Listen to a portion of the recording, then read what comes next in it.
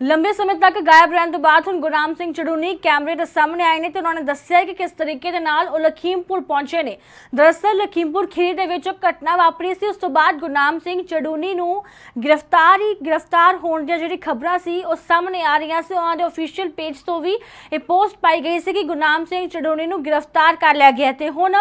ਕੈਮਰੇ ਦੇ ਅੱਗੇ ਆ ਕੇ ਗੁਰਨਾਮ ਸਿੰਘ ਚੜੂਨੀ ਸਾਫ਼ ਤੌਰ ਤੇ ਦੱਸ ਰਹੇ ਨੇ ਕਿ ਕਿਸ ਤਰੀਕੇ ਦੇ ਨਾਲ ਲੁਕਦੇ, ਲੁਕਾਉਂਦਿਆਂ ਹੋਇਆਂ ਪਹੁੰਚੇ ਨੇ। ਕਾਫੀ ਮੁਸ਼ਕਿਲਾਂ ਨੂੰ ਹੰਢਾ ਕੇ ਪਹੁੰਚੇ ਨੇ। ਬਹੁਤ ਮਸ਼ੱਕਤ ਦਾ ਸਾਹਮਣਾ ਕਰਨਾ ਪਿਆ ਉਹਨਾਂ ਤੱਕ ਪਹੁੰਚਣ ਵਾਸਤੇ ਤੇ ਉਹਨਾਂ ਨੇ ਇਹ ਵੀ ਗੱਲ ਆਖੀ ਹੈ ਕਿ ਉਹ ਸ਼ਹੀਦ ਕਿਸਾਨਾਂ ਦੇ ਪਰਿਵਾਰ ਦੇ ਨਾਲ ਮੁਲਾਕਾਤ ਕਰਦੇ ਆਏ ਨੇ ਅਤੇ ਅੱਗੇ ਵੀ ਮੁਲਾਕਾਤ ਕਰਦੇ ਰਹਿਣਗੇ। ਕਿਸੇ ਸੁਰੱਖਿਅਤ ਥਾਂ ਤੇ ਇਸ ਵੇਲੇ ਮੌਜੂਦ ਨੇ ਕਿਉਂਕਿ ਹਰ ਪਾਸਿਓਂ ਜਿਹੜਾ ਘੇਰਿਆ ਜਾ ਰਿਹਾ ਉਹਨਾਂ ਨੂੰ ਵੀ ਤੇ ਨਾਲ ਹੀ ਕਿਸਾਨਾਂ ਨੂੰ ਵੀ। ਇਸ ਕਰਕੇ ਕਿਸਾਨ ਆਗੂ ਗੁਰਨਾਮ ਸਿੰਘ ਚੜੂਨੀ ਹੋਰ ਕੀ ਕੁਝ ਆਖ ਰਹੇ ਨੇ, ਕਿਵੇਂ ਪਹੁੰਚੇ ਨੇ ਲਖੀਮਪੁਰ ਖੀਰੀ ਉਹਨਾਂ ਦੀ ਜ਼ੁਬਾਨੀ ਸੁਣਦੇ ਹਾਂ।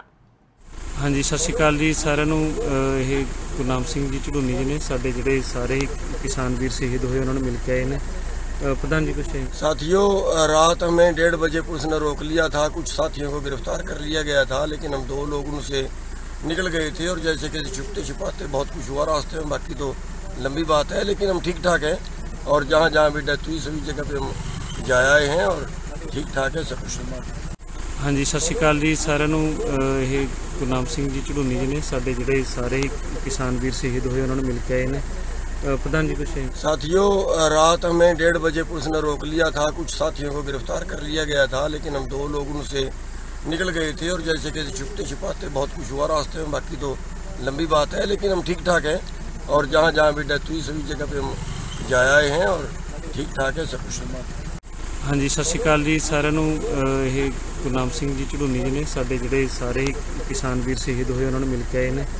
ਅਹ ਪ੍ਰਧਾਨ ਜੀ ਕੁਛ ਹੈ साथियों रात हमें डेढ़ बजे पुलिस ने रोक लिया था कुछ साथियों को गिरफ्तार कर लिया गया था लेकिन हम दो लोग उनसे निकल गए थे और जैसे कि छुपते छुपाते बहुत कुछ हुआ रास्ते में बाकी तो लंबी बात है लेकिन हम ठीक ठाक हैं और जहाँ जहाँ भी डेथ हुई सभी जगह पे हम जा आए हैं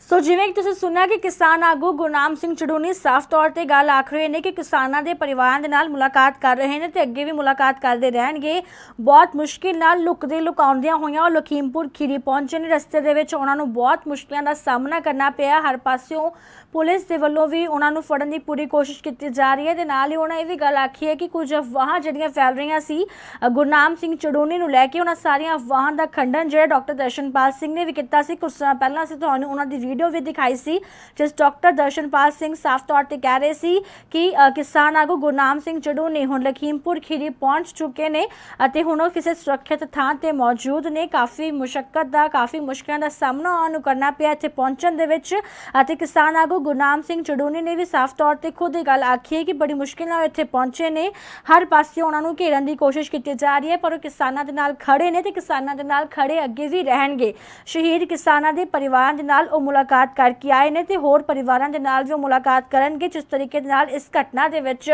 ਕਿਸਾਨ ਜਿਹੜੇ ਜ਼ਖਮੀ ਹੋਏ ਨੇ, ਉਹਨਾਂ ਪਰਿਵਾਰਾਂ ਤੱਕ ਵੀ ਪਹੁੰਚ ਜਿਹੜੀ ਹੈ ਕਿਸਾਨ ਆਗੂ ਗੁਰਨਾਮ ਸਿੰਘ ਚੜੂਨੀ ਕਰਨਗੇ। ਤੇ ਕਾਫੀ ਸਮੇਂ ਤੱਕ ਗਾਇਬ ਸੀ ਕਿਉਂਕਿ ਜੋ ਇੱਕ ਪੋਸਟ ਸਾਂਝੀ ਕੀਤੀ ਗਈ ਸੀ ਕਿਸਾਨ ਆਗੂ ਗੁਰਨਾਮ ਸਿੰਘ ਚੜੂਨੀ ਦੇ ਪੇਜ ਤੇ, ਜਿਸ 'ਚ ਸਾਫ਼ ਤੌਰ ਤੇ ਲਿਖਿਆ ਗਿਆ ਸੀ ਕਿ ਮੇਰਠ ਤੋਂ ਗੁਰਨਾਮ ਸਿੰਘ ਚੜੂਨੀ ਨੂੰ ਗ੍ਰਿਫਤਾਰ ਕਰ ਲਿਆ ਗਿਆ ਤੇ ਉਸ ਤੋਂ ਬਾਅਦ ਜੀ ਕਈ ਤਰ੍ਹਾਂ ਦੀਆਂ ਖਬਰਾਂ ਸਾਹਮਣੇ ਆ ਰਹੀਆਂ ਸੀ ਕਿ ਗੁਰਨਾਮ ਸਿੰਘ ਚੜੂਨੀ ਪੁਲਿਸ ਦੀ ਗ੍ਰਿਫਤ ਦੇ ਵਿੱਚ ਨੇ। ਸੋ ਅਜਿਹੀਆਂ ਅਫਵਾਹਾਂ ਦਾ ਖੰਡਨ ਜਿਹੜਾ ਡਾਕਟਰ ਦਰਸ਼ਨਪਾਲ ਸਿੰਘ ਦੇ ਵੱਲੋਂ ਵੀ ਕੀਤਾ ਗਿਆ ਸੀ ਉਹਨਾਂ ਨੇ ਵੀ ਪਹਿਲਾਂ ਆ ਕੇ ਇੱਕ ਬਿਆਨ ਦਿੱਤਾ ਸੀ ਕਿ ਕਿਸਾਨ ਆਗੂ ਗੁਰਨਾਮ ਸਿੰਘ ਚੜੂਨੀ ਲਖੀਮਪੁਰ ਲਖੀਮਪੁਰ ਖੀਰੀ ਪਹੁੰਚ ਚੁੱਕੇ ਨੇ। ਅਤੇ ਹੁਣ ਕੀ ਕੁਝ ਕਿਸਾਨ ਆਗੂ ਗੁਰਨਾਮ ਸਿੰਘ ਚੜੂਨੀ ਨੇ ਆਖਿਆ ਇੱਕ ਵਾਰ ਤੁਹਾਨੂੰ ਦੁਬਾਰਾ ਉਹ ਬਿਆਨ ਸੁਣਾ ਦਿੰਦੇ ਆ ਤੇ ਉਸ ਤੋਂ ਬਾਅਦ ਅ, ਦਰਸ਼ਨਪਾਲ ਸਿੰਘ ਨੇ ਕੀ ਬਿਆਨ ਦਿੱਤਾ ਸੀ ਉਹ ਵੀ ਸੁਣਾਉਂਦੇ ਆ ਹਾਂਜੀ ਸਤਿ ਸ਼੍ਰੀ ਅਕਾਲ ਜੀ ਸਾਰਿਆਂ ਨੂੰ। ਇਹ ਗੁਰਨਾਮ ਸਿੰਘ ਜੀ ਝੜੂਨੀ ਜੀ ਨੇ ਸਾਡੇ ਜਿਹੜੇ ਸਾਰੇ ਕਿਸਾਨ ਵੀਰ ਸ਼ਹੀਦ ਹੋਏ ਉਹਨਾਂ ਨੂੰ ਮਿਲ ਕੇ ਆਏ ਨੇ। प्रधान जी कुछ साथियों रात हमने डेढ़ बजे पुलिस ने रोक लिया था। कुछ साथियों को गिरफ़्तार कर लिया गया था लेकिन हम दो लोग उनसे निकल गए थे और जैसे कैसे छुपते छुपाते बहुत कुछ हुआ रास्ते में बाकी तो लंबी बात है लेकिन हम ठीक ठाक हैं और जहाँ जहाँ भी डेथ हुई सभी जगह पे हम जाया आए हैं और ठीक ठाक है सब कुछ। पूरी पड़ताल करने के बाद यह लगता है कि गुरनाम सिंह जी अपने साथियों से अलग हो गए थे और वह अब किसी सुरक्षित जगह से पहुँच गए हैं जो सुरेश कौथ जी ने मुझे बताया है। उनको कहीं से पता चला है कि वो ठीक ठाक है। सो ये पूरी कन्फ्यूज़न जो है, ये ठीक तरीके से तथ्य कम्युनिकेट नहीं होने की वजह से और बाकी चीज़ों को भी ढंग से कम्युनिकेट नहीं करने की वजह से हुआ है गुरनाम सिंह जी